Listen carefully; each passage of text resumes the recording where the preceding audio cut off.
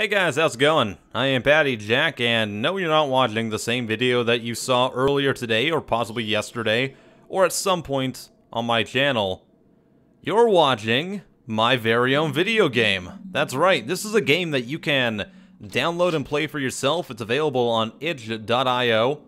It's called Smorshing Good Time, and you're going to see why in a second. It might look like The Last Patient, a game I covered earlier today, or The Asylum, which is a demo version of a game for the Game Guru development kit. But no, I have created my own video game that you can play. I could probably get this on Steam if I wanted to. And, uh, yeah. It's very much an asset flip, by the way. Those are my...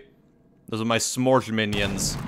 If you don't know who Smorsh is, it's a running gag on my channel. It's a character I made in Skyrim, so I pasted him onto some medieval-looking guys to make my own assets, so, you know, this is all my own original creation now. This is literally how easy it is to make an asset flip. All you have to do is go onto the Game Guru development kit, the Unity store, the Unreal Engine, and you can make your very own. Took me 45 minutes to make this. I'm using the same map as was used in the demo version of the Asylum, which is only available there to show you how to make games yourself. And I've seen plenty of games that use things like pre-made maps and other stuff, and what it does is it allows these game developers to make a game in a short amount of time, like I've done here, possibly get it on Steam, and then make a bunch of profit on it because they sell it for a dollar, and make even more money back by selling the trading cards, because developers do get a cut of trading cards. I had the developer of Himiko, a game that was using a map from the Unreal Engine store, tell me that no, game developers don't get any cut, and then I ended up educating him that yes, they do. And believe me, it does not seem like Himiko had a whole lot of effort put into it. I mean, I made a game that's similar in gameplay mechanics to Himiko, utilizing assets that were completely not created by me. Like, none of this was, but I can sell it and get all the profits from it. And it's really sad to me that I can make my own asset flip. And again, if you want to play it, you can. I'm not gonna try to get this on Steam. I don't really care. This was this was to make a point. And the point is that it's way too easy to make these games.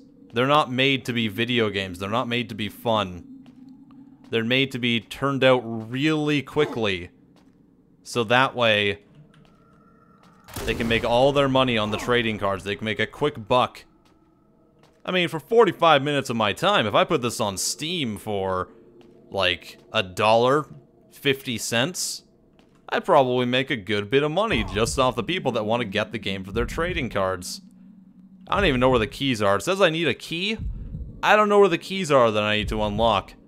I guarantee you that in a lot of these games that require things like this, the developers also don't know because they don't put any effort into it. They don't put any forethought into making their own creations. That doesn't matter to them.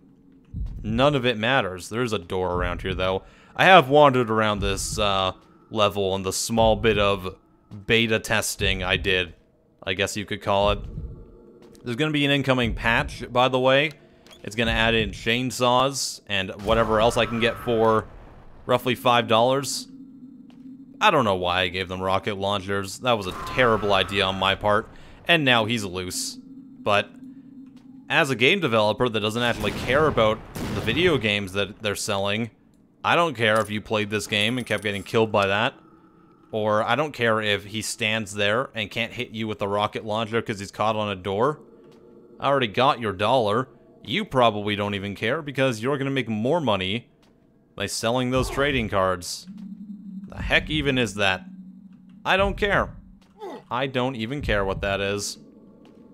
So yeah, this is Smorshing Good Time. It's my very own asset flip. You can go play it if you want to. I am Patty Jack, and, um, I am out of here. Never touching this again. God damn it.